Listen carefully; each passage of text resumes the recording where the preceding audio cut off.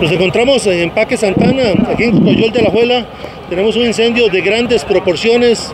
Eh, el área que hemos estimado preliminarmente es de 10.000 metros cuadrados. Prácticamente todo el área de almacenamiento estaba siendo involucrada. Estamos protegiendo el área de producción, pero el fuego se ha avivado muchísimo por el fuente viento que está soplando en estos momentos. Tenemos este, alrededor de 15 unidades extintoras y este, unos 50 bomberos. Estamos eh, trayendo más gente, más unidades del área metropolitana principalmente porque tenemos un serio problema con el abastecimiento de agua. Los hidrantes de la zona no tienen agua y el sistema contra incendios de la planta ya se agotó. Entonces estamos en un proceso de acarreo de agua principalmente para asegurar pues eh, confinar el fuego debido a que la carga de fuego es tan alta porque son bobinas de papel de 3, 4 metros de alto estivadas a una altura este, de unos 20 metros y esta carga de fuego es alta. Se prevé que vamos a estar varios días acá en el control de este incendio. ¿Cuántas personas heridas?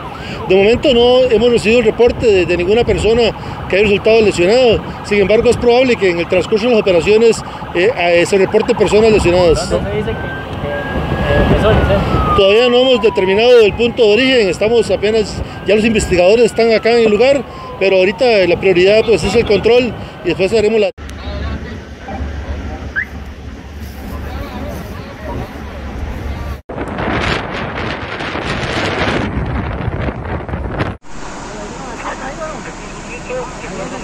Vamos a hacer el mismo operativo que el otro incendio. Que